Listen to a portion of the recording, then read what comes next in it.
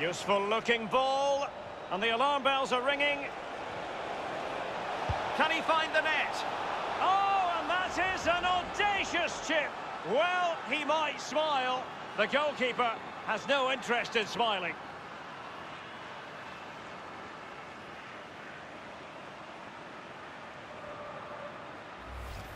Well, Derek, there's not much room for error in this one, but it's a perfect execution just to lift it over the keeper. Great goal. Slightly different vantage point in terms of the goal that was scored.